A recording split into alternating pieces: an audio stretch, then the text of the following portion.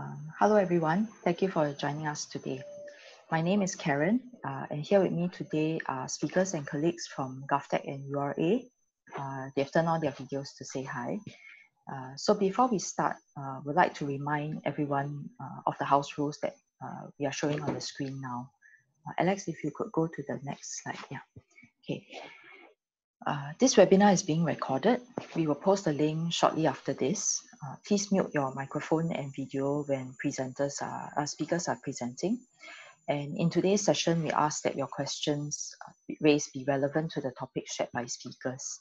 If you have any questions, please type them into the Q&A panel below instead of the chat to ensure that the speakers do not miss any questions out. So we have a lot of interesting content lined up today. Uh, in the interest of time, speakers will only address questions posed on the Q&A panel uh, after their presentation. So time has been allocated for a combined Q&A after all three speakers have presented uh, and addressed some of your questions. Uh, we'll do our best to answer as many questions as we can. So we'll open up the floor for verbal questions during the combined Q&A session. If you'd like to ask any questions, kindly raise your hands in the Zoom function below uh, we'll call out your name and if you can unmute, uh, share your name, uh, share with us where you're from, and, and, you can you may start speaking. So to allow us to take as many questions as possible, please keep your sharing to under two minutes. And finally, uh, we have a virtual networking session at the end. If you'd like to stay back and uh, network together with the speakers as well as the panelists, please feel free to do so. Uh, if you could go to the next slide. This is the program that we have lined up today. So we'll start with Delon, who is uh, from GovTech's Data Science and AI Division, who will share us about uh, Vigilant Gantry. This followed by Jazreel, uh, our colleague from URA Digital Planning Lab, who will share about Space Out. And last but not uh, least, Chinn and Jia Yi from GovTech Smart Nation and Platform Solutions will tell us more about Spot the Dog, as I'm sure many of you have seen in the news. So without further ado, may we invite uh, Delon uh, to start, please. Delon, please. Uh, thanks, Karen. Hi, guys. Uh, firstly, I'd like to thank the organizer for hosting us. Uh, we appreciate your hard work in organizing this event. So I'm privileged to be part of this uh, panel of distinguished speakers. Uh, hello, Chinn. Hello, Jia and our friends from URA, uh, Jazreel and Louis. I also saw Zhongwen in the chat. So uh, my name is Delon, and I have with me Bill. Uh, both of us are from the video analytics department from the Data Science and Artificial Intelligence Division of GovTech. I will take the next 15 minutes to share with you our project on Vigilant Gantry. Next slide, please. Yep, so as you may have understand from the invite description, Vigilant Gantry is an automated temperature screening uh, gantry that augments existing thermal system that enhance contactless screening. So I guess what you want to find out from this sharing session are exactly the things that we did precisely to make Vigilant Gantry. You might ask, are we actually building the entire gantry by ourselves? Or is uh, Vigilant Gantry just a software? Or is it a mixture of a software and hardware? So throughout this whole presentation, I will bring you through uh, the journey of making a Vigilant Gantry as well as uh, where are the engineering efforts uh, lies. So, uh, so with me, uh, there's a picture of our, our team. So uh, it's not just uh, the engineers. Actually, we do have uh, quite a bit of uh, product management, uh, uh, stakeholder engagement. So to make this happen, uh, we actually need quite a bit of uh, help from all this. And I'm, I'm very proud to be part of the team that uh, is able to actually pull this off uh, just within a couple of weeks. So next slide, please. Here is the agenda of this sharing, the problem statement, design and prototyping, field testing, industry adoption, and collaboration. So next slide, please. So uh, what do we observe? So after the announcement of DORSCON Orange and before the circuit breaker period, so we saw queue everywhere, especially during peak commuting periods, especially in com uh, commercial buildings. So according to a Straits Time article, uh, people have to wait uh, in the hot sun for about 40 minutes. So next slide, please. So hence, uh, my team and I were curious of this issue and decided to delve deeper. Why are people actually waiting so long outside uh, the office? So we visited a dozen of commercial buildings and tried to understand the reason for the queue, specifically looking at uh, bottlenecks in terms of operation. So this is what we have discovered. So I'll orientate you guys on the illustration uh, in this slide. Okay, so uh, this is a floor plan of a typical building lobby, and the manpower deployment by building owners. So uh, this is after the announcement of DORSCON Orange and before the circuit breaker period. So the one uh, is the person, you can see the person, those are those that are bounded by red lines are the additional manpower required for uh, temperature screening. So as you can see, uh, with the implement of temperature screening, we do have we do need to have four uh, ground staff to be there all the time. So uh, on your left, you can see the door, and the floor marking sh uh, shows the direction of uh, where the visitor should go to enter the building. So uh, as you go in the door, actually, uh, this is what we usually see. You'll be greeted by a security officer who will direct you to the gantry to enter the building. So that security officer actually has uh, two jobs. So first is to do crowd control, and second is to remind visitor to remove their headdress and sunglasses so that uh, when you go through the screening, uh, cam uh, the thermal camera, you'll be screened properly. So from our understanding from building owners, uh, even though you can put as many signs, warning signs for people to remove their headdress or sunglasses, uh, people will still maybe forget. So, uh, so you do need people there. So as visitor walk past the reception, uh, there will be another ground staff which which is deployed often uh, looking at the thermal camera to monitor monitor for febrile visitors from our discussion with building owners, we understand that the ground staff will need to monitor the temperature, the, actually the screen of the temp temperature screening uh, camera for up to six hours a shift. So you could imagine the work fatigue that they have to go through.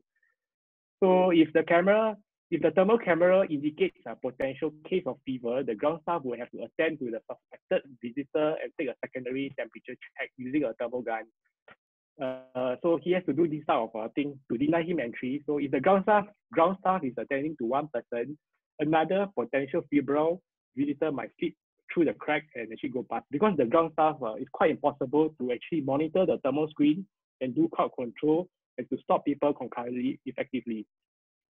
So in short, uh, we are looking at uh, each entry of each lane. We are looking at the minimum deployment of four ground staff. So hence, uh, actually, this is a big issue. Next slide, please. So to recap, uh, what we want to address, so long queue due to long waiting time and the manpower crunch uh, for building owners. So we believe that this issue will definitely resurface as we exit the circuit, breaker. Next slide, please. So, uh, so what do we do? So when you look at the floor plan, uh, what can we do? So actually, when you look carefully at what we have observed, uh, you have a gantry, you have a CCTV, and you have a thermal camera. So, oh, so there's uh, three, there's actually three things that you can play with. So imagine this scenario, uh, a person covering his, uh, sorry, a, imagine this scenario, a thermal camera senses a febrile person and because the camera knows that the, the thermal camera senses him, the gantry will open. So another scenario is uh, imagine a person covering himself uh, passing by the thermal camera system, but the CCTV notice that notice him and it won't open.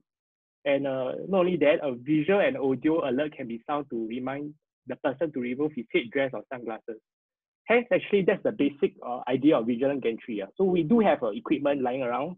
Why not just let the uh, equipment uh, communicate with each other? Next slide. So the basic idea of vigilant gantry is actually to make these existing devices uh, communicate with each other. Next slide. So uh, this is sort of like a smart home device that you can find uh, lying around.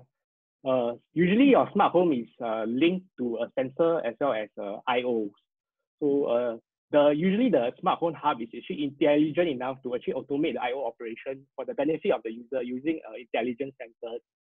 Next slide.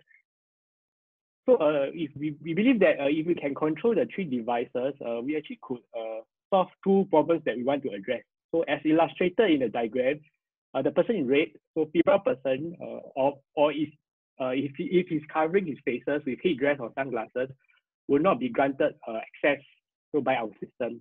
So uh, so this how the workflow. So when he cannot grant that, uh, grant he cannot access. So naturally he will go to the reception. So actually you don't need. Uh, we believe that you don't need additional deployment for manpower in this case. So in short, uh, the ground staff deployed can actually potentially take more on um, take on supervisory uh, roles, doing more important tasks such as attending to emergencies and answering queries by the visitors. So uh, for the visitors, uh, if we can make this system uh, fast, effective, and seamless, actually there's no change in their uh, daily activity. Uh, so going through the gantry as per their uh, usual routine. next slide.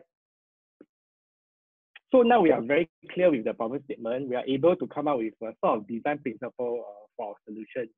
So they are utilizing existing hardware, minimizing disruption to existing processes, adaptability, accurate, and performance. Next slide. So, uh, so this is the whole uh, system architecture of uh, Vigilant Gantry. Uh, let me orientate you guys on the diagram. So on the left are the sensors. So as you can see, a camera. So these are off-the-shelf uh, optical camera that you can buy anywhere online today. And uh, we take in imagery from the thermal camera. So in the middle is where the Vigilant Gantry software lies, uh, running off a discrete GPU laptop. On the right are the display and the gantry. So back to the middle part, which is the Vigilant Gantry software. So Vigilant Gantry software actually consists of five modules, uh, all of which contains are self-contained using Docker, of course. Uh, they are coordinated using uh, Docker Compose. So you can think of it as a micro microservice. Each of them have their own endpoints uh, to communicate with each other.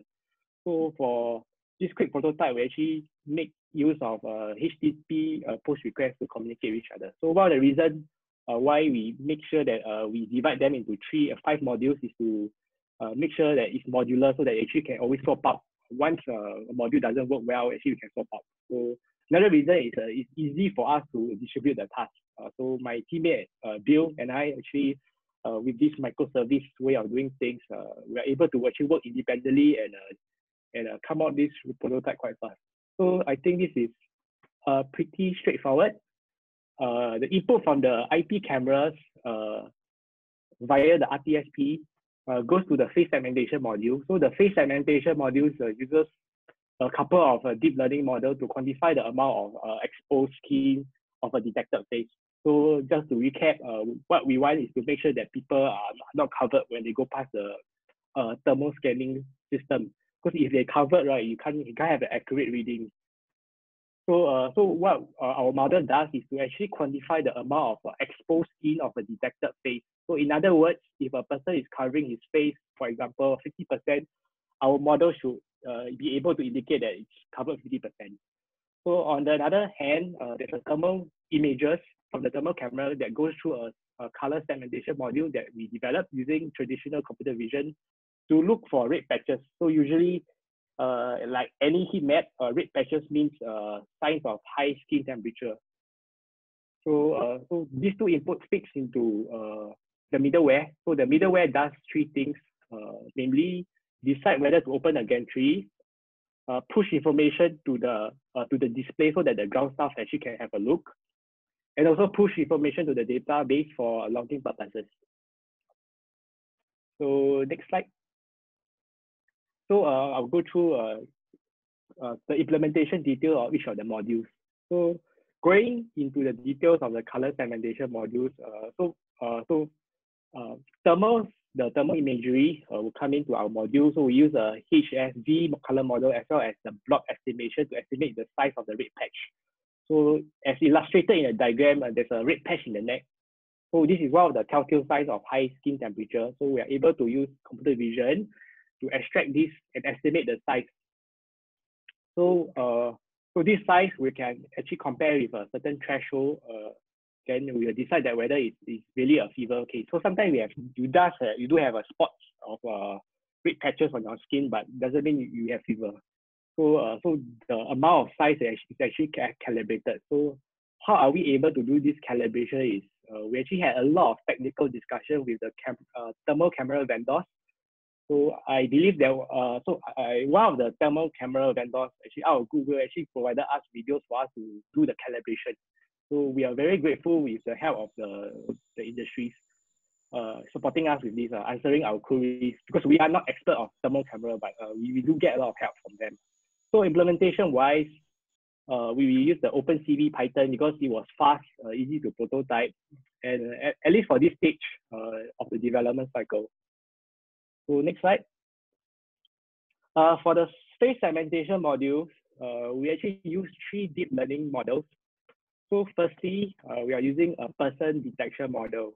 So we need a person detection model to ensure that uh, uh, we actually uh, perform face segmentation right on the appropriate person.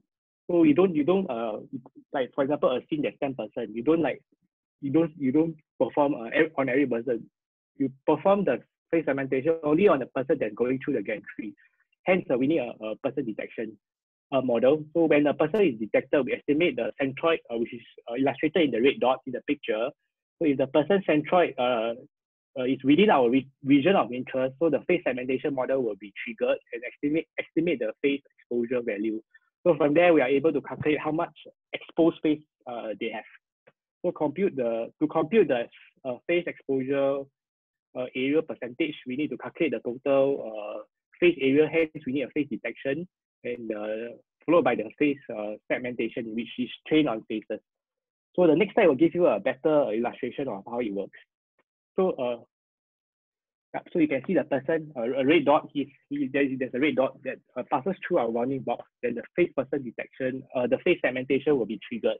So you can see the green patches on his face. So that's the amount of exposure face, the, the exposure that he has.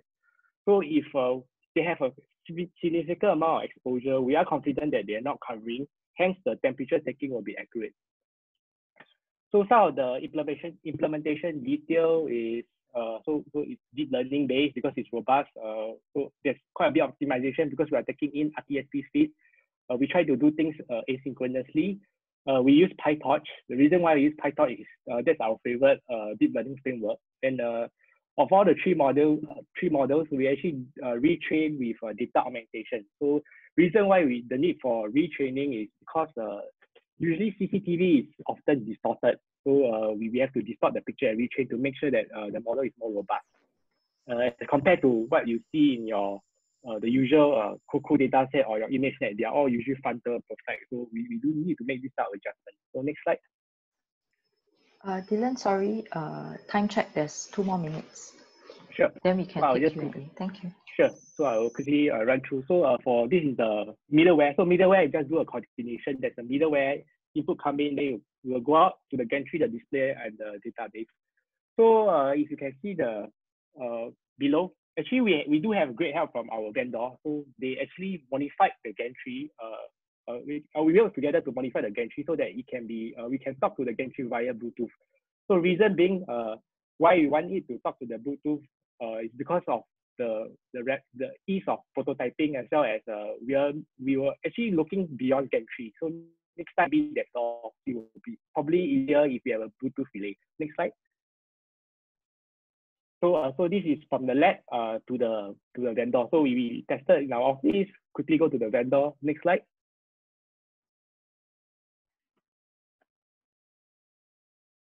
Next slide, please. Yeah. So uh so to put uh sorry before that. So uh actually to so we do have a prototype, but uh, what is more important is actually we bring the prototype to the field to do testing. Okay, so uh, so hence, right, uh, for, for what we believe in to make a vigilant gantry a success, it's not just a GovTech. We need an industry partner. We also need an agency partner to give us uh, a place to be to be deployed. So next slide.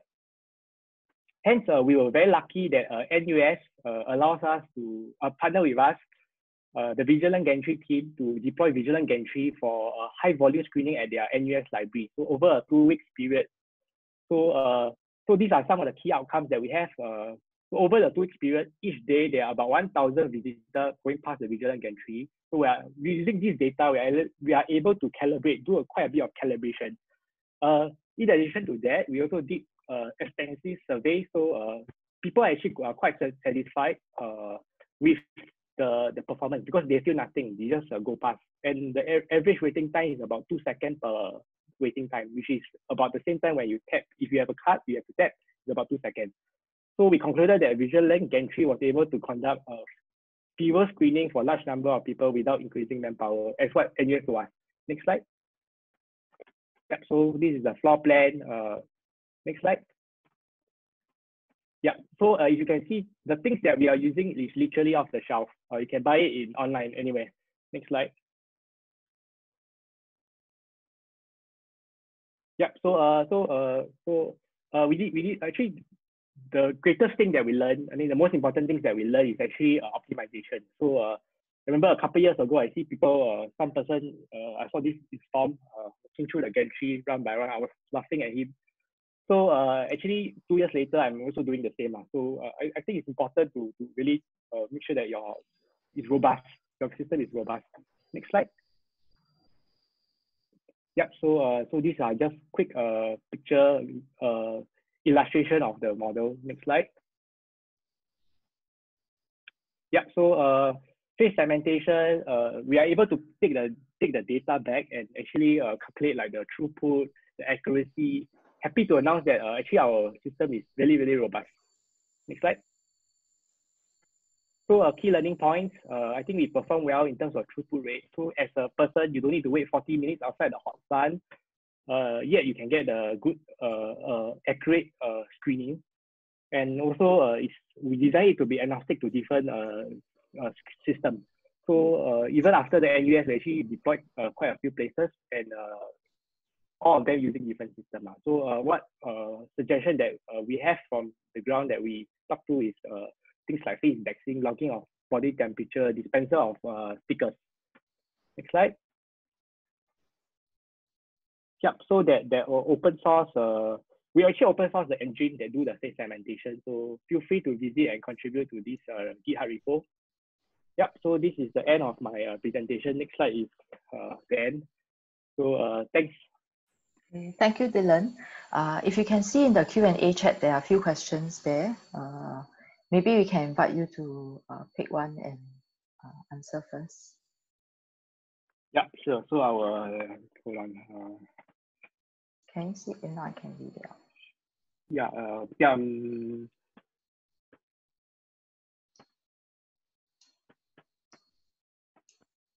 okay, so there's a question by uh, uh Jessica, uh, Jessica Quack. Uh, so how do we buy and deploy our own uh, how do we buy and deploy at our own premise uh, office? How about safe entry still needed? So uh, that's a very good question. So uh, what, what we have is actually uh, uh, the whole idea of vigilant gantry, right, is to come up with a uh, compelling business case uh, for the industry, right, to adopt uh, and actually to, to really deploy uh, beyond what we can in GovTech. So uh, so actually, if you can see, right, the things that we, we do have, uh, equipment that we use are literally off the shelf.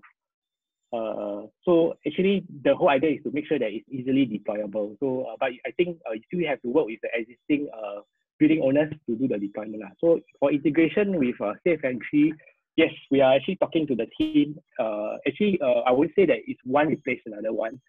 Uh, so for circumstances that maybe uh, you cannot let a febrile person to fall through the crack, uh, a gantry is actually a more robust uh, way of having it. Uh. So we, we are actually talking to them to integrate uh, the feature to our uh, next iteration of Vigilant Gantry. Thanks. Thank you, Delon. Uh, do you want to just take one more? We have uh, one minute Okay.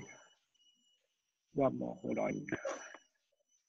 Okay, maybe I'll take the first. Uh, okay, uh, so does uh, so Sante, uh, does he work in an environment with low lighting or uh, even consider infrared? So uh, in terms of lighting, yes, quite a, a challenge, but uh, lucky for us, the place that we deploy are always at the lobby, and, and because lobby is actually the place where you need uh, probably uh, some something uh, basically your security have to bear. So lucky for us, uh, the place that we deploy uh, usually in gantry is something uh, quite brightly lit, so uh, we didn't face uh, too much issue uh, with that.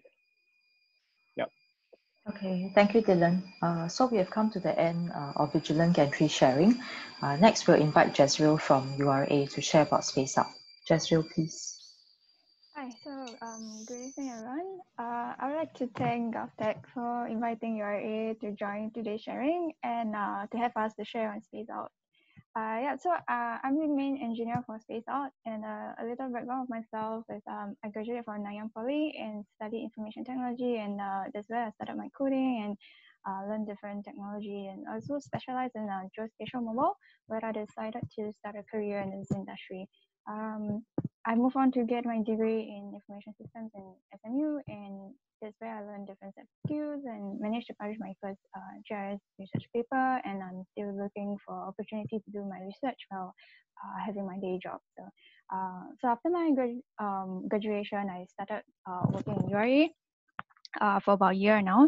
Uh, so among my projects, um, Space Out is one of them. So you can hear me, right? Uh, so um, next, um, I will talk about um, how we start Space Out uh, and some of the design concept um, and application overview. And I will end off with um, some feedback and learning points. Uh, yeah, next. Yeah, so the safe distancing uh, measures was enhanced on 27 March uh, to control malls uh, crowd level, where many malls find it challenging to manage the crowds at the entrance.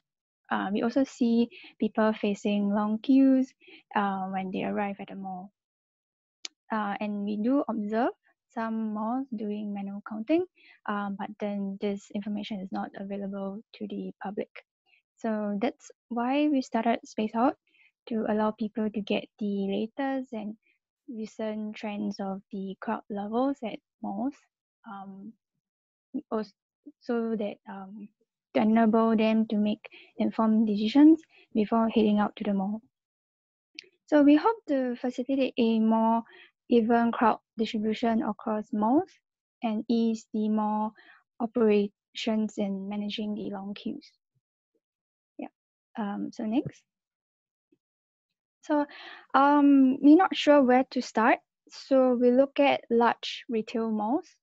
Um, as we work with them, we realize um, every malls use uh, different technology and we also have to reach out to service partners for data information that we wanted.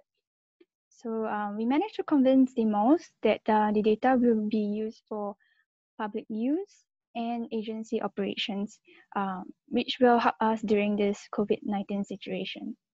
So uh, we also try our best to make it convenient for the malls to provide their data to us.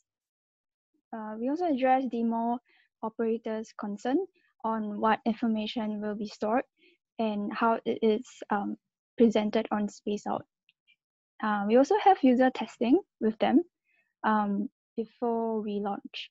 Uh, after we launch, we actually added um, new partners and amenities uh, such as supermarkets, um, NTUC, you know, Prime, Sheng and uh, Post Office, uh, as well as um, markets from NEA. So next. So um, when we were brainstorming the design of Space Out, uh, we wanted it to be easy to use. Um, it has to be flexible and scalable as well. Uh, we decided um, on a web uh, map application. Um, hello.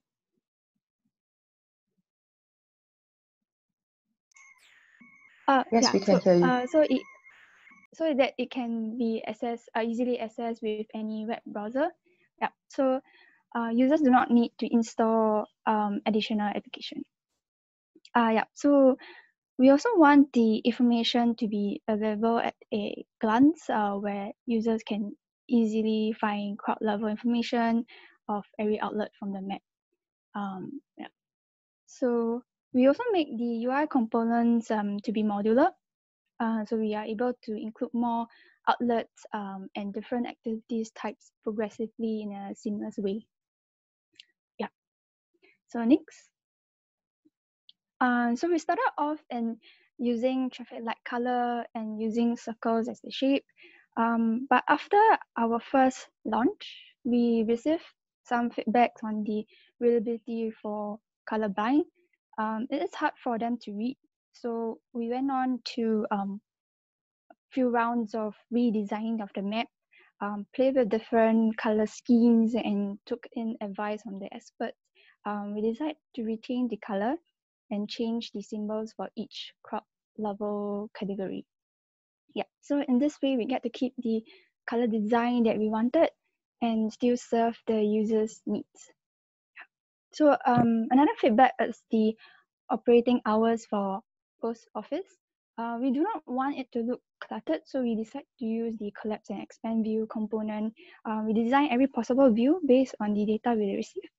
Uh, it could be a range of days or a single day, uh, and if that is extra information needed to be displayed, we have an extra label to display it. Yeah, so when we work with um, NEA, we have another round of um, design discussion on how we want to display the queue count on SpaceOut and um, other than just um, the crowd level status. So we do not want to break the consistency of the design, so we added a batch label to show the queue count outside of a particular market. Uh, yeah. Um, next. So recently we added a new function, the nearby less crowded option, uh, to give our user a list of nearby less crowded amenities uh, as well as the distance away from the selected amenities. Um, we also enable multi-language drop-down option to be more inclusive for the members of the public. Uh, yeah, next. Yeah, so here are some of the tools we use for UI design. Um, we use Material UI React components for faster and easier web development. Um, we design our prototype in uh, Code Sandbox for easy collaboration between uh, UI designer and the engineer. Next. Yeah, so this is our application overview. Um, we have our CI/CD pipeline to review and push our codes to UAT and um, production. Um, we also have a separate data pipeline um, to pipe data into our database. Uh, we have uh, caching service in the front end as well. Uh, so next. Can you click? Yeah. Um, okay. We use uh, commercial cloud services to enable us um, to scale up or down services quickly when needed. Uh, we separate the web map from the data pipeline so to prevent exposing the endpoints of the source system. Um, we store and fuse the data. Uh, we collect into the database so to sort and um, mask the data to display it in SpaceOut, um, as well as generating the trend analysis. So yeah, lastly, we adopt various um, data engineering solution to cater to every uh, operator needs.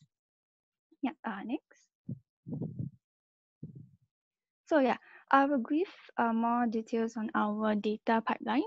We have automated scheduler to pull data uh, and we will do data processing to integrate the data and pipe to our cloud, uh, cloud document services, which will then do further uh, formatting and pipe into our database. Uh, we have also API provided by GovTech and other operators, uh, which we will also do data cleaning and formatting, and then we will then pipe to our database. So we also have bot services to pipe data straight into our database as well. Uh, yeah. So some of the challenges um, we have, we face that's uh, one of which is the integration of different technologies. Um, as we receive like data in different ways and format, we need to find like the best solution to fit all and uh, integrate them into one. Um, and we also spend quite a lot of time in data cleaning and formatting. Uh, the next point. Yeah. Uh, so it could uh, we need to really clean the data and format it so that it could pipe into our database pro um, programmatically. Yeah, so we also face um, challenges in doing user testing um, as data is kind of time sensitive where we need to do the testing at different timing to cover all possible scenarios. Uh, yeah, thanks. Uh, so we receive, um, since the launch, we receive lots of um, feedback and suggestions um, and in particular, the visually impaired individuals, individuals we are actually um, still trying to design our application to be more user-friendly to them. Um, so if you guys have any suggestions or ideas on how we could do better, do give us um, some suggestion in the chat and uh, we will try to make uh, do our best and make it happen. Uh, yeah, so next. Oh, so so here are some our learning points um, from our non-engineers colleague as well. Um, so we learned that we could leverage on technology and um, data to um, provide information for people to make informed decisions. We also able to work together to harmonize data among stakeholders. Uh, we learned to create alignment of interests with our operators and users and demonstrate feasibility and value. So we also learn to prioritize user journey. So to design a better application for uh, the members of public and uh, we, we design and develop upfront to do improvements um, without disturbing user experience. And lastly, we uh, do gain uh, deeper and, uh, appreciation of the technology we use as well. And uh, that, that's um, all we have. Um, thank you for listening. Okay, thank you, Jazreel. Uh, there are a few questions in the Q&A. Uh, maybe I read out the first one to you that's been upvoted. So how is the crowd level calculated in SpaceOut?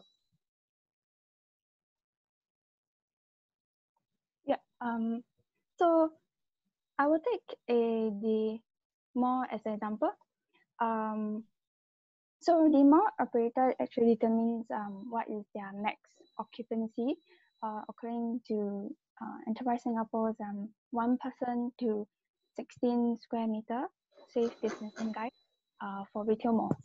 Um, and in on SpaceOut, we have the colored and shaped tiers on um, uh, showing the percentage of the uh, mall that's filled uh, based on each uh, mall's uh, maximum uh, occupancy. yeah. Thank you. Uh, so there's one more question from Inkiet. So when we look at SpaceOut and by the time we reach the mall, a place might have been overcrowded. Uh, are there any ways to take into consideration the action taken by the viewer, such as whether the person is going to a mall and then provide some projected views? Ah, so this is more like um trying to uh, predict the the in a in a future where uh, uh, in 30 minutes time um, where the place will be covered. So um, right now we are actually um, taking the data um, straight from our operator. Um, we pipe the data from what the operators give us and also from um, many different sources. So it's the, the frequency is really based on what the um, operator provide us. So we do not actually um, predict uh, in the next few uh, minutes what what will be the rate, but to really give like what was last updated uh, that we have um, in SpaceOut. Yeah. Okay, thank you, Jazreel. Uh, so there's one more question we can take from Shelley. Oh, so I will be picking on. Can you see? If not, I can read it out. Oh yeah. Um. So I can uh, pick one from from it.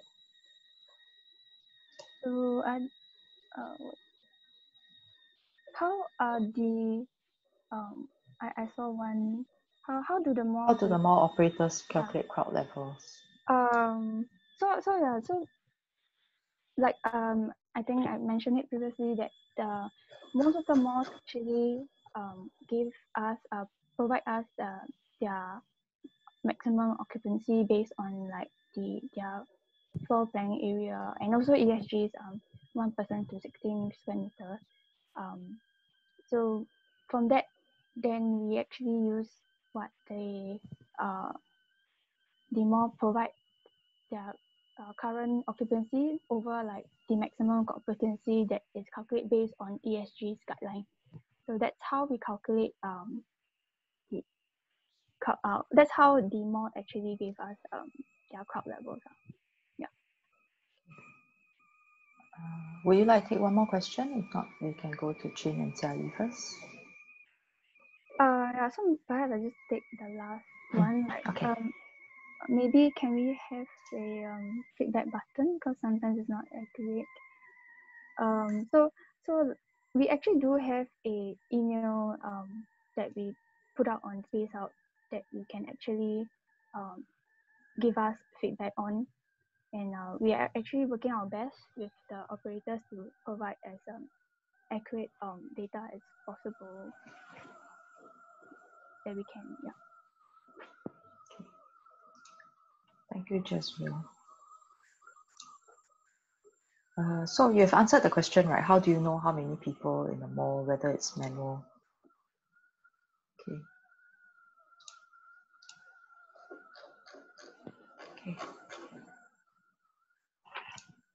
Can so thank you everyone uh, for the questions for Jazreel. We will have uh, we'll address more questions later in the combined Q and A.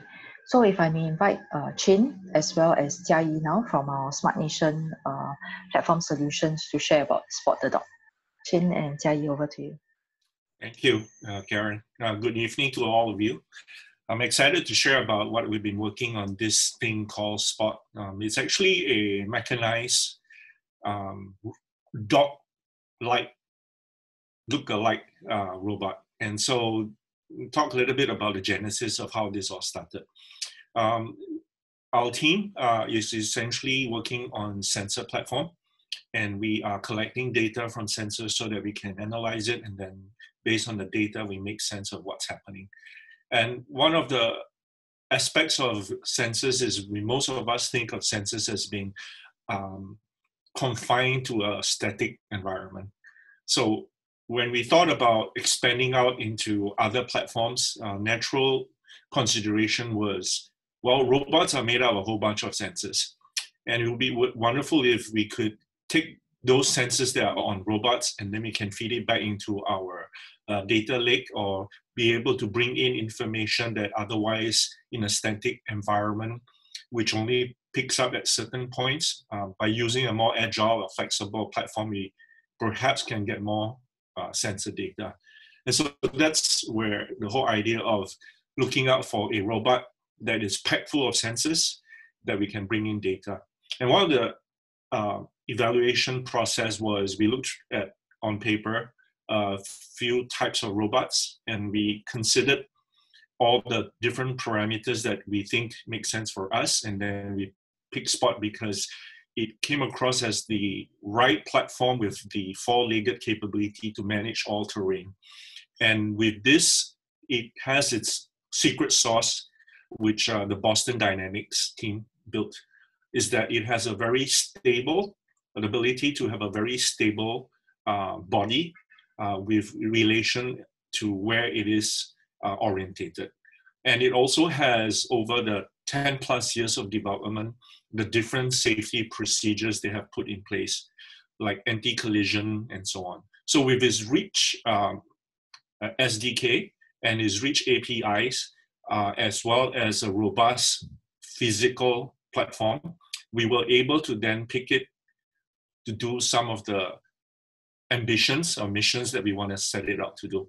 My colleague Jia will deep dive into the technical bits, uh, but ultimately, what we want Spot to do is not so much uh, that we see it as a fun little robot, but it has ability to give us a lot of um, ideas, a lot of opportunity to look into how sensors that are mobile how do we create a robot area network?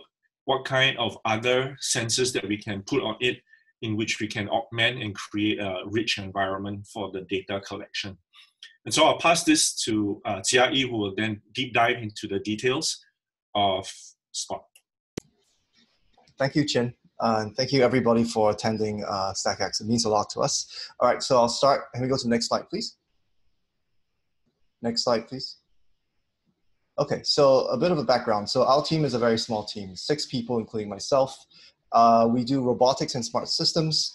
Uh, Spot is, well, the star of the show for tonight, but we also do other things as well. Uh, we gave a talk about Spot On uh, a couple weeks ago. That's our um, deep learning based AI temperature scanning solution. We are part of the Smart Nation platform services. And um, just a bit of trivia the dogs arrived on the 8th of October 2019 last year. Next. Uh, so I'm Yi. Um, I just some of background. I spent 10 years at Pixar as an R&D uh, simulation direct, uh, technical director. I did mostly like physics simulation solver type stuff. So FEM, fluid dynamics, that sort of thing. Uh, and then after that, I did a bit of uh, deep learning and um, deployed the um, uh, part of the physics deep learning stack for the Samsung Galaxy line of phones. I returned to Singapore last year after Chinn um, graciously you know, hosted me in the Bay Area after 20 years. So yeah, next. So okay, let's talk about Spot. Uh, Spot at the core is you know four-legged, very nimble robot. Um, it is what we call a mobile sensor platform. But on top of it, we're building what we call uh, DOS, which is the Digital Operation Smart Services.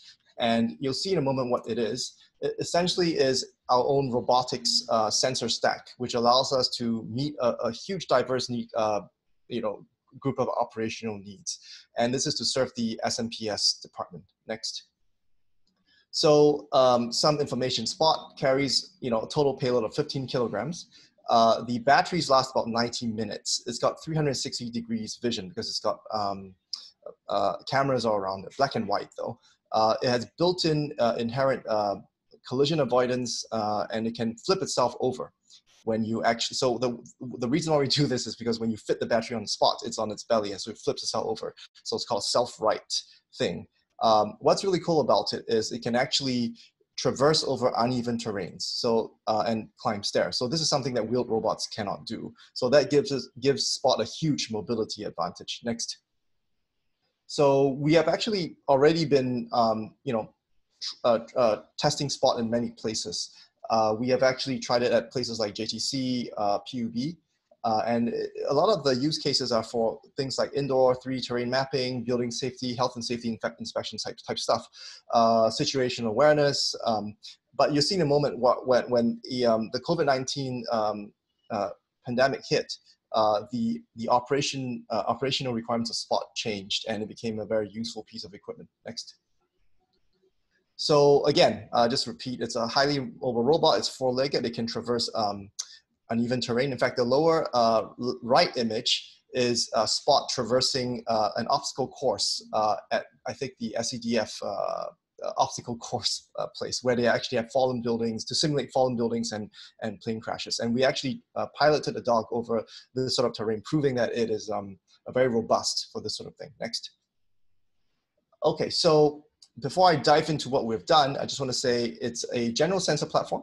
It's got an SDK, which is very, um, very basic in functionality, but because of that, we can build our own robotics stack on top of it, which I'll start explaining. Uh, could we play the, um, the first video, the uh, spot present, please?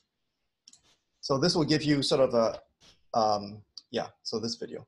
So uh, these are some of the uh, it's a bit choppy, but anyway, these are some of the, the things that you can do with Spot. The first one is obviously climbing the stairs. That's a built-in ability, but this one is actually our own stack. So here we have a, a very simple deep neural network where Spot is autonomously tracking and following a person. Um, and this is this was actually done with a 5G thing. This is actually a full-on 3D uh, point cloud, well, actually more like a mesh, created with our own stack. Uh, this is done with no LiDAR, with a single camera.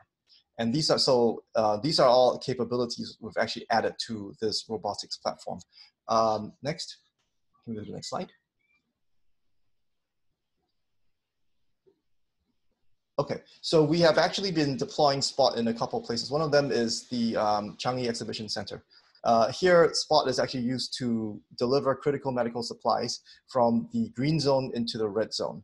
Um, the reason why we do this is because it actually takes quite a bit of time to put on your PPE, your safety uh, equipment and attire and go into the red zone. And then the problem is exacerbated by the fact that if you're very tired, it's like 3 a.m. in the morning, 3 a.m. in the morning, um, you could make a mistake.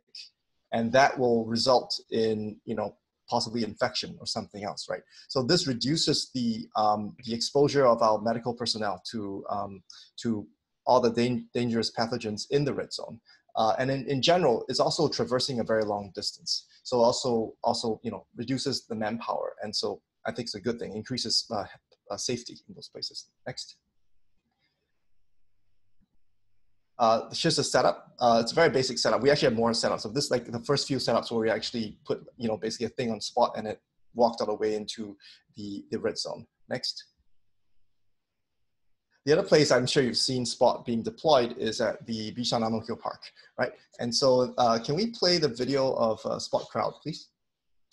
So I, I thought I would just share a very, it's kind of a interesting or funny video. Yeah, so here is, um, moving. Here's Spot actually, um, oh, I think the video is um, not very uh, fluid right now uh, it's not it's not playing for me. Okay, I guess it's very choppy. But anyway, we have we have uh, a bunch of kids and all that looking at the dog. Uh, what's interesting is um, this, um, as I'll say in a moment. Uh, we so we built this stack atop of uh, Spot, and this is called the uh, BVLOS stack. So this actually allows us to pilot the robot anywhere in Singapore as long as you have a 4G or 5G connection. So we actually piloted this dog um, over four kilometers from the, um, the, the air conditioned office of NParks. Okay, let's go to the next slide, please. We can stop the video. All right, so let's talk about our robotic control stack. Uh, we have a thin Python layer because the base Boston Dynamics SDK is in Python, but actually their core is also C++.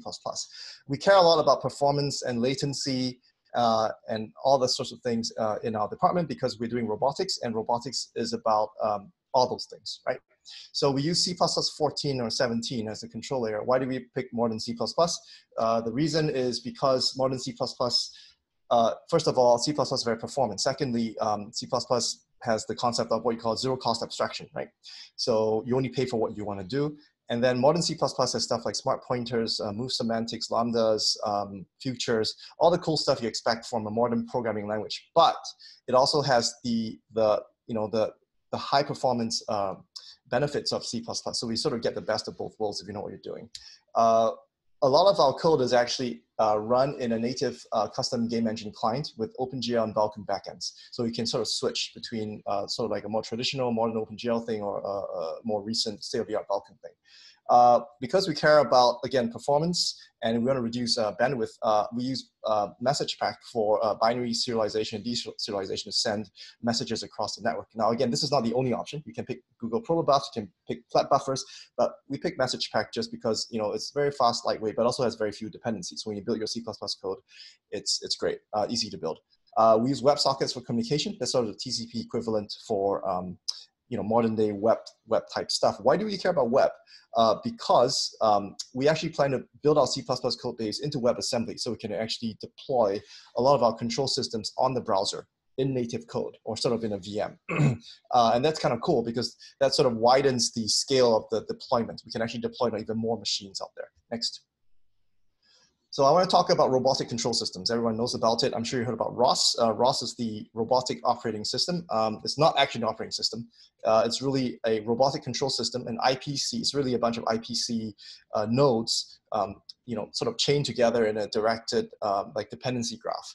And each node in it actually controls maybe like a LiDAR or like an embedded system or maybe the motors of a robot. So that's ROS. Um, very well established in the industry. Lots of people use it, especially in academia and small robotic startups. But that's not the only option out there.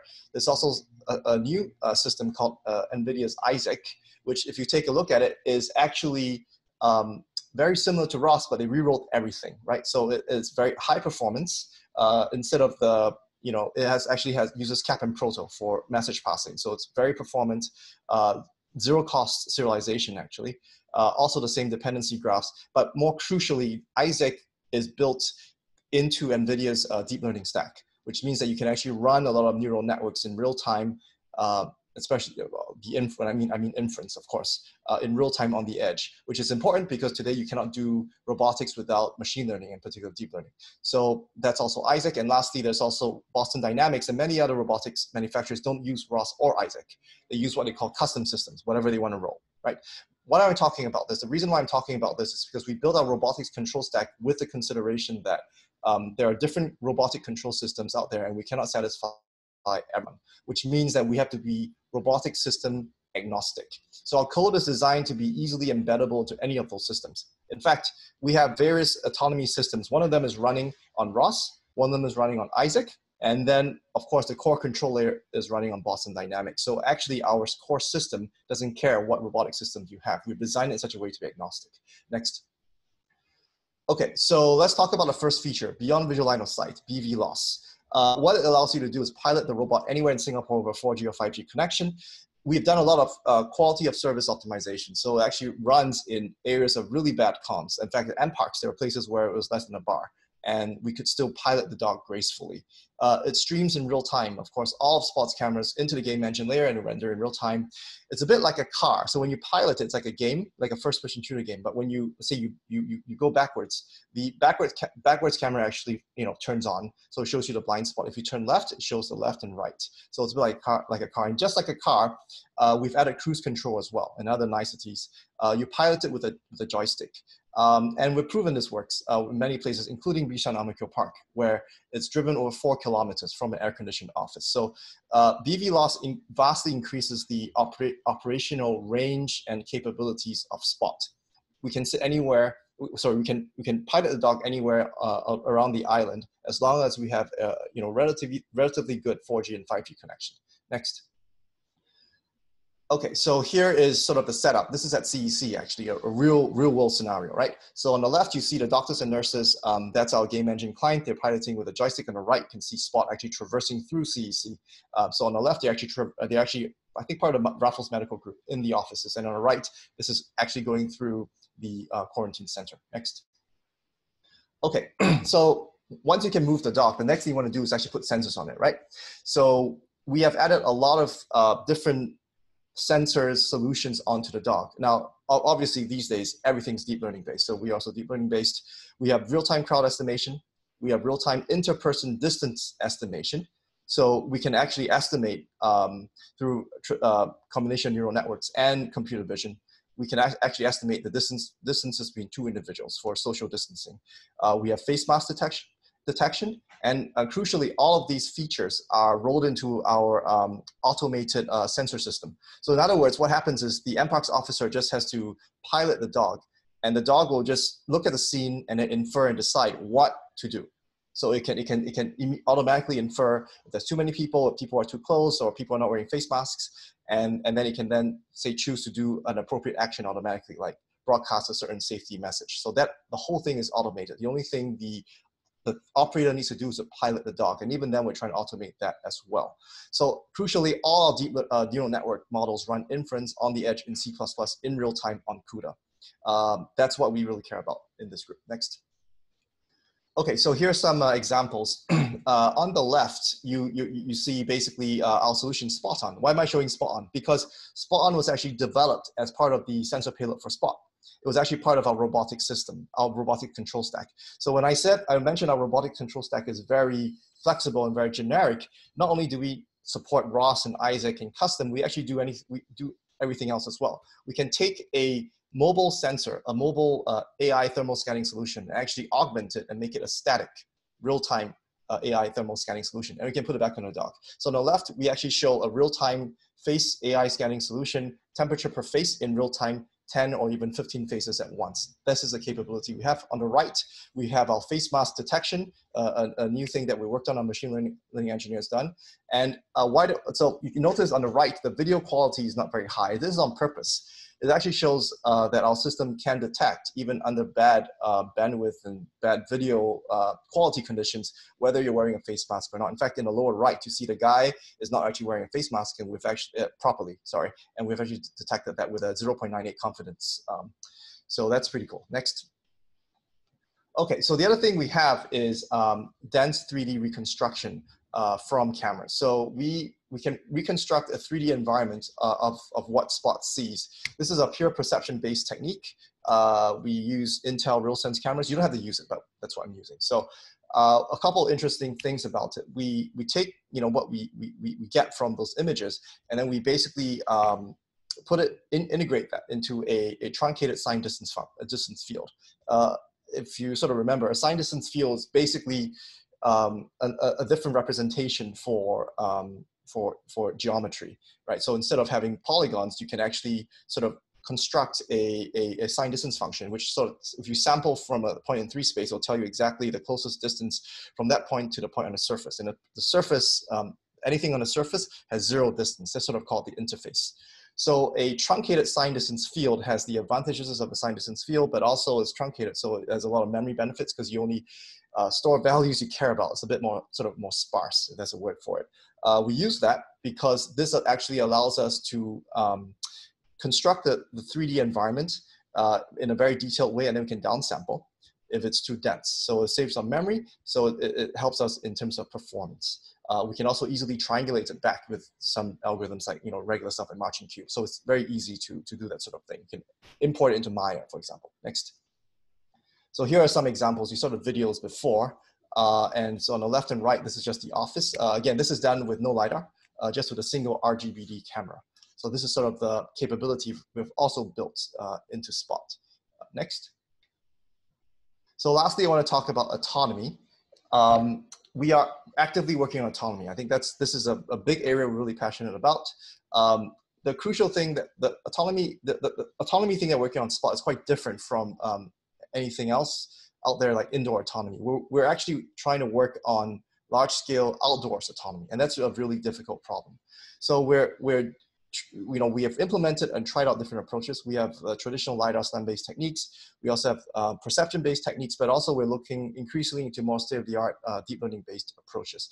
Now we're working with, we're piloting a dog over unstructured terrain. So we're not talking about office autonomy. We're doing something uh, much uh, larger scale. Next. So uh, can we play the video of Spot BD autonomy, please? Okay, so this is um, the, uh, perception-based technique. This is already integrated into our um, robotics uh, BVLOS stack. So you see here, um, Spot is actually navigating, well, this is the office, so this is a test, but this is purely based off uh, perception. So there is no LiDAR involved. Uh, and um, what I've done is you sort of record a route for the dog to move, that's the route, and then it sort of, you know, traverses the path that you, you, you, you moved about. Uh, can we jump to the uh, the the, the uh, center of the yeah there you go yeah so yeah and then I get up and then just to show its autonomy I get up and then I film the dog the dog comes over and then I follow follow the dog uh, again no lidar um, empty payload uh, you can see it's it's moving around uh, the office and it makes a left into the other um, chairs and all that so anyway so this is um, the first method we have that's already integrated into our stack uh, perception based. Okay, can we go to the next slide, please? Oh, sorry, can we go to the, uh, the next video, the uh, NPark autonomy. So yeah, we play the NPark autonomy, yeah. So then we also have more traditional um, LiDAR-based autonomy techniques as well. This is uh, based off a particle filter. Uh, and um, can we jump to the, the middle of the, the video, please? Thank you. Um, and um, it's a very challenging thing to do, but we've actually managed to actually do it. We've actually aut- autonomously walked around, uh, a, well, a small loop, but still a very challenging loop of NParks. Um, so why are we doing all this, right? Uh, obviously, this is one of the biggest uh, feature requests by all the agencies. They want the dog to be autonomous. So that's why we're working really hard on autonomy. And why are we trying out all these techniques? Because in autonomy, um, I believe that we had to we have redundant solutions. So we need to have multiple ways of uh, autonomously piloting the dog for safety reasons and also for robustness. Yeah. So here's the um, NParks autonomy. Okay. So quick time check. Uh, yes. There's uh, one more minute to Okay, Q&A. no worries. Okay, okay, we can stop this. We can stop this video immediately. Yeah. Can we go back to the slides, please? I think we're almost done. Yeah. Um, yeah, I think that's it. Okay, thanks a lot. I, I'm done. That's all we have. Okay, in good time. Um, so Jia, there's a few questions uh, that's typed into the Q&A. Would you like to look through or there's one at the can, top? How about you just pick them? Thank you. Okay. So Jessica's uh, asking, she's wondering if Spot the Dog is going to be around the parks as a social distancing announcer, uh, whether people get used to it as a machine and soon ignore it soon. Is there a calculation on the effectiveness of this use?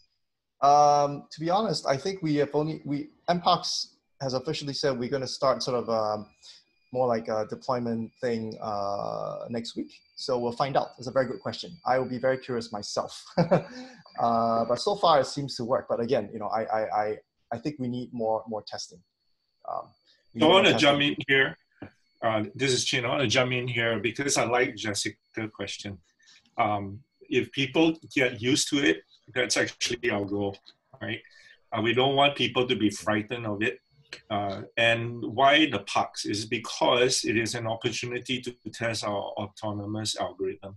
So that's the uh, two pluses for us, right? That we want people to get used to it, and then we have an area that is uh, difficult to actually recognize features. If you look at an office, you got a lot of objects in which the vision system can uh, pinpoint to. But if you look at an open system, so Jia has been talking about the difficulty in open spaces. The, the reason is because open spaces all look alike. And if we are, and this is without using GPS, right? It's not that there is GPS aid.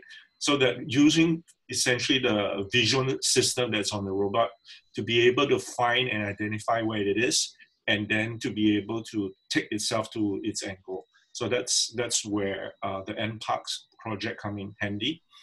And of course, uh, social distancing is not going to be around forever. At some point, COVID will end uh, and there will be more users for it.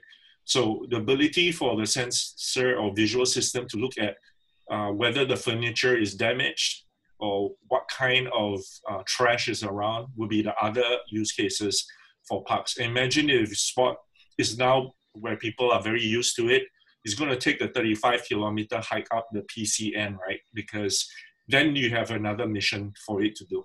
So, so I like that question, and yes, we we have in mind more use cases for it. Okay. Thank you, Chinn. Uh, so there's one more question for Spot. Uh, what kind of strange situations have you observed over the past weeks of deployment? Uh, example, people try and mess with them, and how has Spot responded to these situations?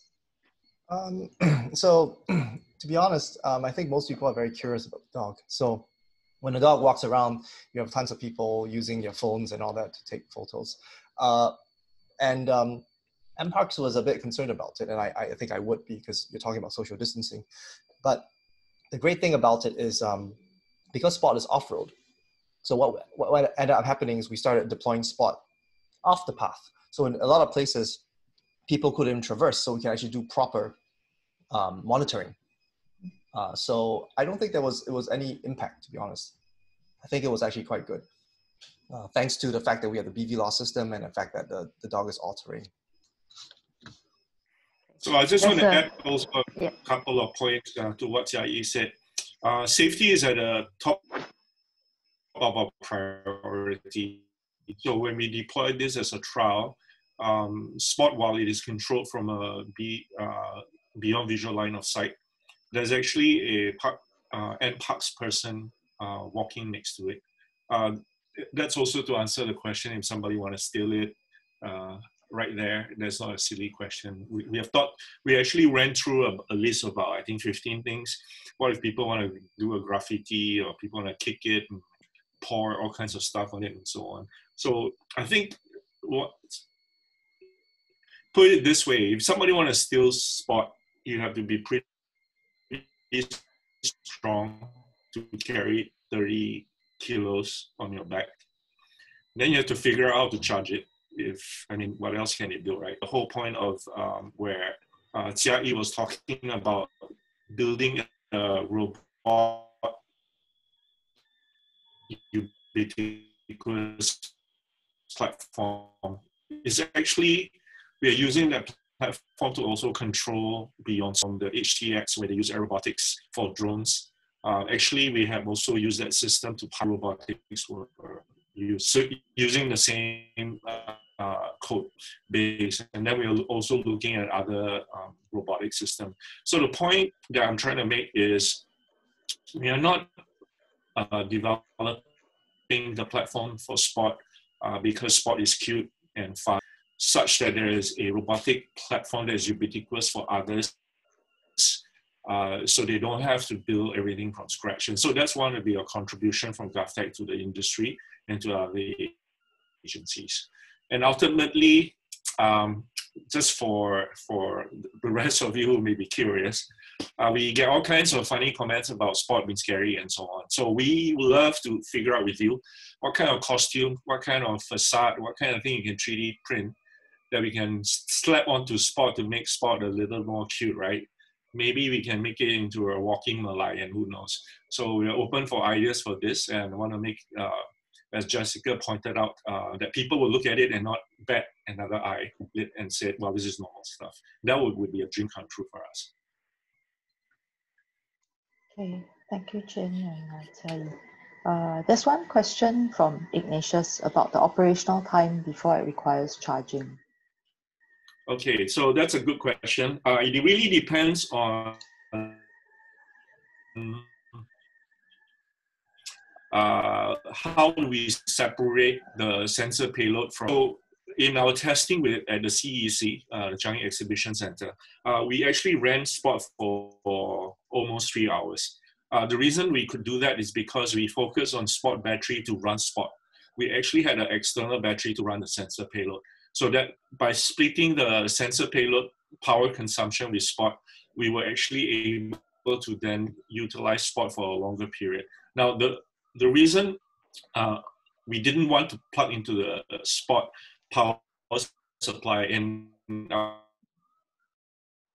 I was told that actually it will be able to handle it. Is simply because the sensor system uh, with its own juice uh, that is grabbing from so that we can differentiate between what power is required just to do Spot for walking and doing its, its other amazing things uh, versus from a sensor payload so that we can actually differentiate and do energy or battery budgeting uh, when we put future sensor payloads. Okay, thank you, Jane. Uh, so now uh, we'd like to move on to the combined Q&A uh, session. Uh, maybe uh, if you all have further questions, please type them into Q&A. Uh, maybe the first one, I'll address it to uh, Jazreel. Shelley has a question about whether there's trends in the use rates of SpaceOut and uh, where and how the team is encouraging Singaporeans to use SpaceOut before going out. And if the team did user research to see how it can be embedded into uh, citizens going out journey. Uh, yeah. Um, so I, I see that question in two parts and I will answer in um, at visitorship and user journey.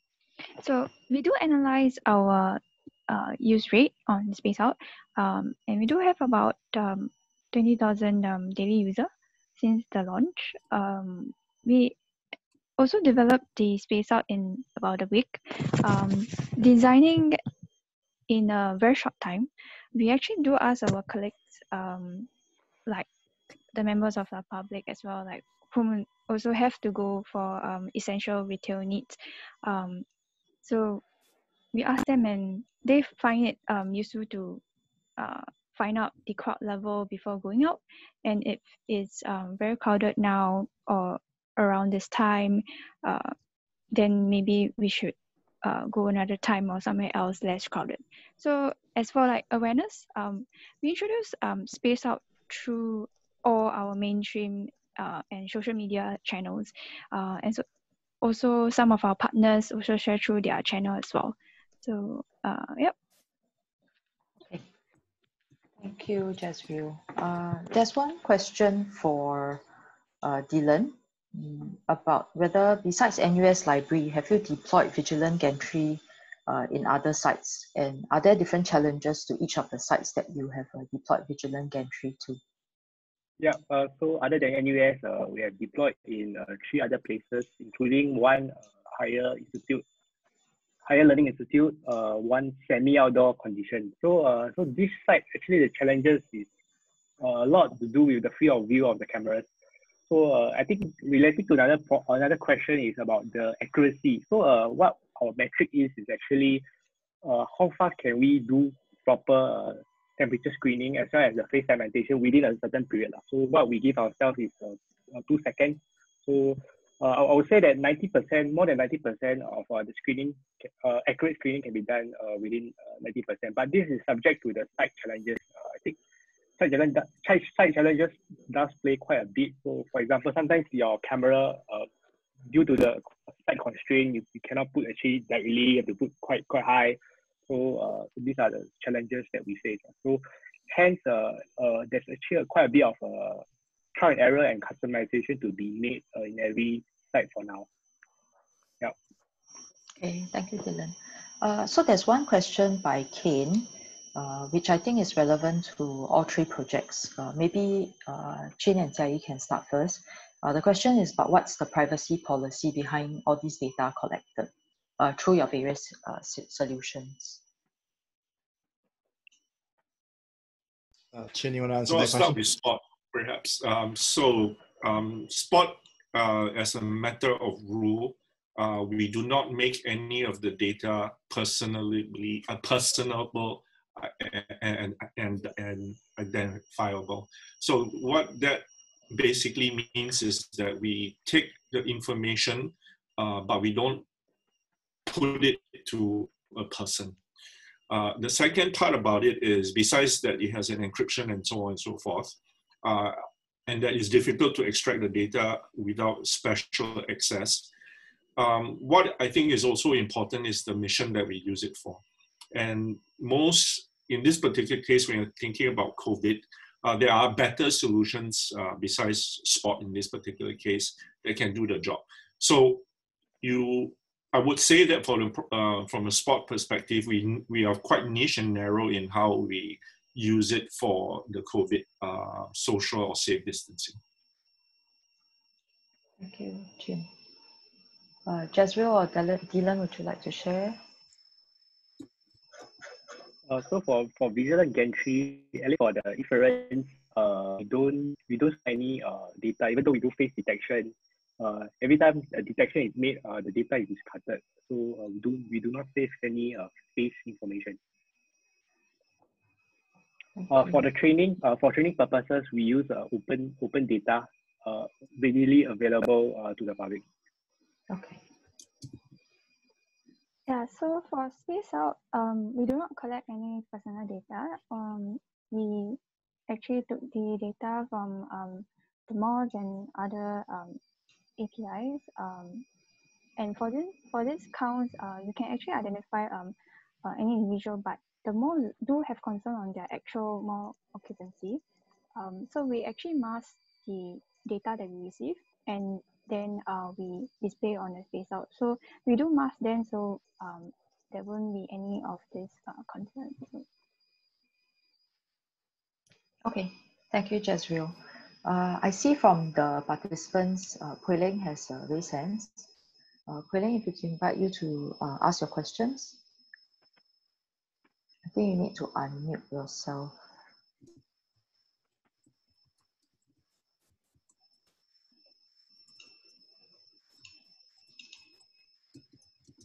Hmm.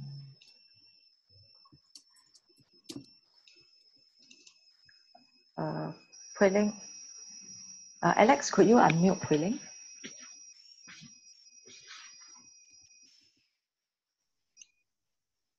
Yeah, uh, Hui could you unmute yourself and uh, can ask the question?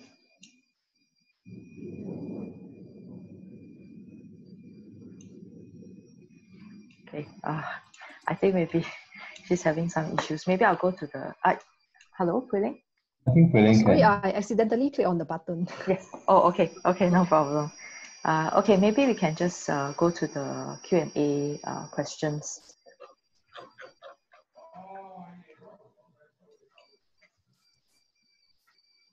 So I think at uh, this question, I'm not sure whether it's it for Jazreel or for Delon, maybe one of you would like to take it.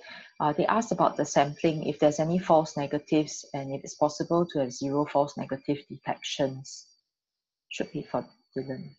Yes, I think uh, it's fine. So um, yeah, so the answer is uh, so even though we are using a robust method of uh, using deep neural net, so it's never perfect. Uh, so quite impossible to have a zero false detection, a zero uh, false positive. Uh, so but uh, yeah. Okay, thank you. So maybe I go to the next question. Uh, the accuracy rate, I think this for Delon as well. Uh, what are some of the limitations and accuracy rate of your solution? So, uh, so what we are doing is actually quite a well-established uh, detection of face. So, uh, accuracy rate is uh, uh, probably as good as what a human can see.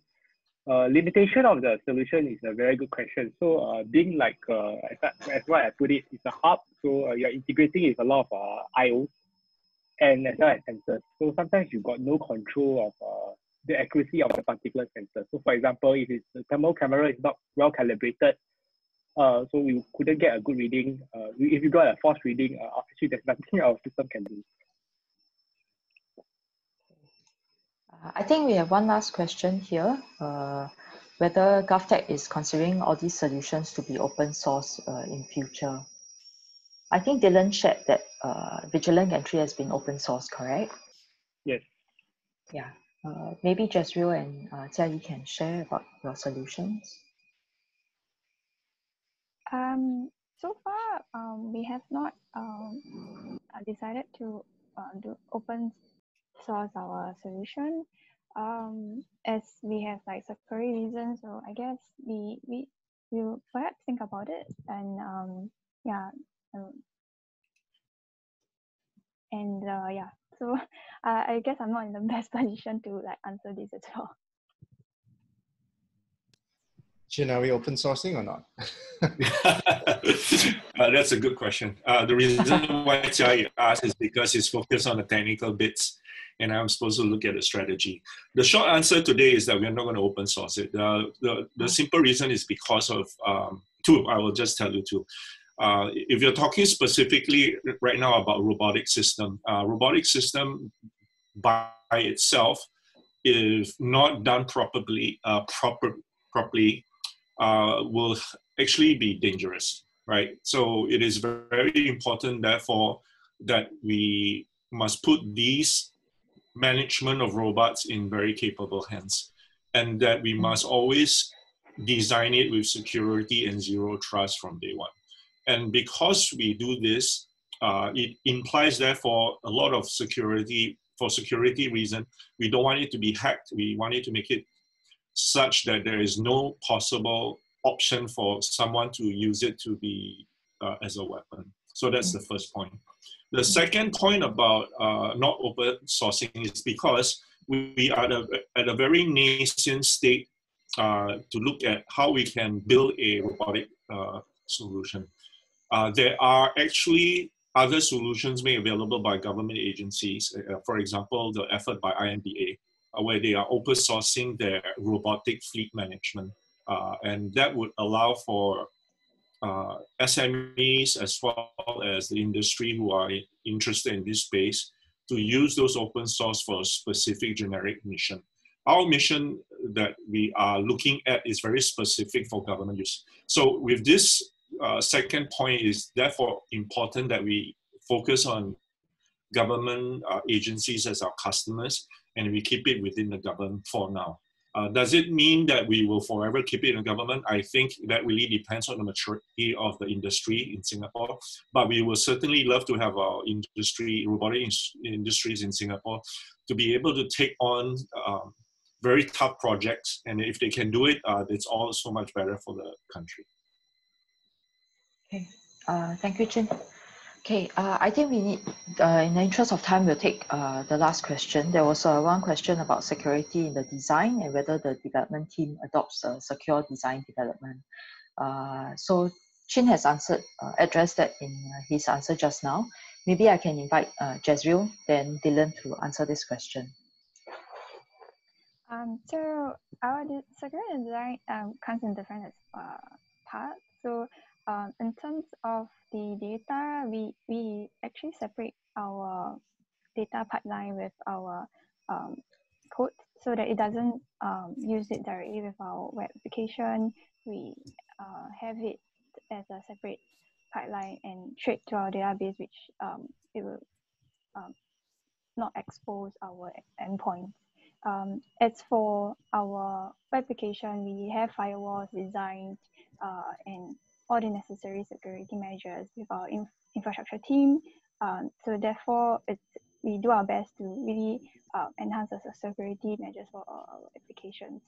uh, as well as we also mask like uh, our data the front end to uh, prevent any sort of way to to uh, see or calculate or uh, analyze like the the data in the front. So yeah. Delon. So just uh, yeah, just a quick answer. Um, so uh, currently Vigilance Gantry uh, runs everything locally. Uh, so we do have the basic uh, software hardening, uh, OS hardening uh, all these layers to ensure security. Okay, Yep. great. Okay, uh, thank you all the speakers, uh, Delon, Jazreel, Jiayi, and Chinn, uh, for your sharing. Uh, we finished the combined Q&A session. Uh, we just have two more things to share with the participants. Uh, Alex, if you could bring on the slide on developer portal. Yeah, so uh, we'd just like to share with everyone that uh, on GovTech's developer portal, we'd like to invite you to come visit our portal. Uh, so in there, we share a lot of the products that uh, GovTech as well as whole of government has built. We'll increasingly be bringing on board uh, more products as we go along. Uh, and as mentioned, there's uh, access to documentation on this portal as well. And uh, after we finish this uh, webinar, we will be sharing the recording uh, through this developer portal. So you can visit us to find out more about some of the uh, blogs that's written by GovTech, some of the community events recording that we will be posting on the developer portal. So you can scan this QR code to learn a bit more. Maybe you can go to the next slide uh, where I can invite my colleague Gina to share a bit more about uh, an upcoming event. Gina. Hi. Um, thanks, Delon um, and um, Jai, and Chinn for the interesting sharing. Hi, I'm Gina, and I'm from the talent acquisition team, GovTech. So I'm sure all of you must be very inspired by what we do here for public good. I would like to take this opportunity to share that GovTech is, at, is actively hiring, um, is actively looking out for good and experienced engineers to join us. Um, we are recruiting software engineers, cybersecurity specialists, data scientists, and all that name it, we have it. Um, these tech roles are important uh, to us when we build these digital solutions to support uh, COVID-19. So we have just launched um, our first tech hunt uh, last week for software engineers. Um, there are more lined up in, in the weeks to come, such as like cybersecurity on the 4th of um, June, followed by like data science and AI and all that. So here's the QR code um, we welcome interested applicants who believe in uh, tech for public good to join us. So uh, please share the QR code with your friends and register your interest or go to go.gov.gov go.gov.sg slash tech hunt um, for more details. Okay, that's all we have. Thank you.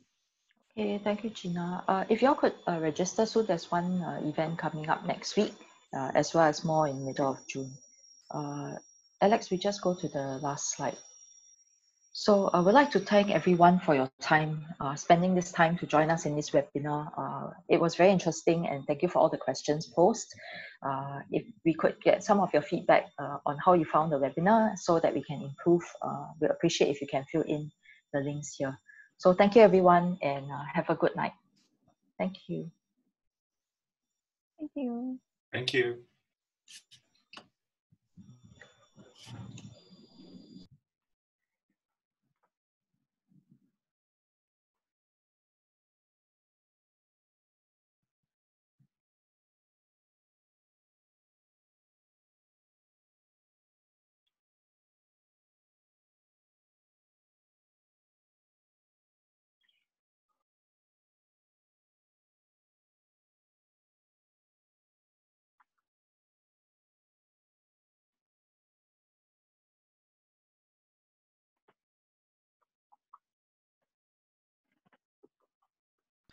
Uh, hi everyone who's uh, still around. If y'all would like to, uh, y'all have questions, you can uh, raise your hands and then we can turn on our mics and uh, say hi to each other.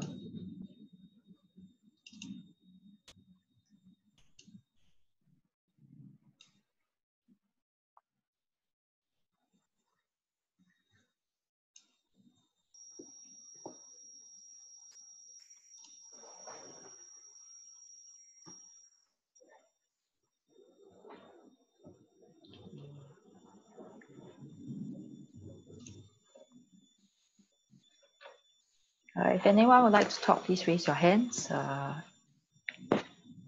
the speakers are still behind and uh, we can take some questions.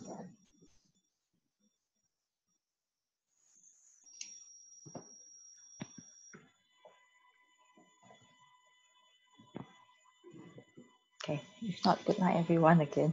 Oh, there's one hand raised. Uh, Bill, do you have a question?